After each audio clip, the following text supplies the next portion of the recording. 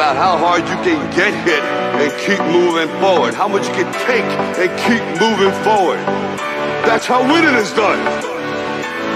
Now, if you know what you're worth, then go out and get what you're worth. But you gotta be willing to take the hits and not pointing fingers saying you ain't where you wanna be because of him or her or anybody.